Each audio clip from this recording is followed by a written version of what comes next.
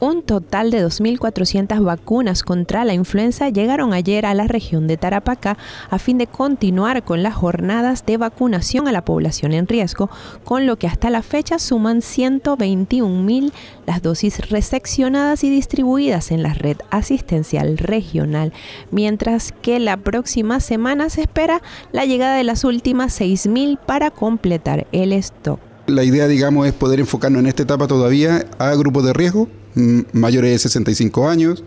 niños de 6 meses hasta los menos de 6 años, mujeres embarazadas desde la semana 13 deben vacunarse y también los pacientes crónicos. Darle la seguridad a la comunidad que si están en grupo de riesgo no van a quedarse sin vacuna. El llamado es a vacunarse antes de que comience el invierno porque la inmunización comienza a surtir efecto entre los 15 a 20 días contados a partir de la aplicación de la dosis. Deberíamos estar recibiendo la próxima semana las últimas 6.000 dosis que estará, digamos, dirigida nuevamente a reforzar a los grupos de riesgo, pero también a incorporar a otras prioridades que para la región son importantes, particularmente instituciones que eventualmente pudieran tener una alta demanda durante el invierno y que requieren que sus miembros, digamos, reciban la vacuna.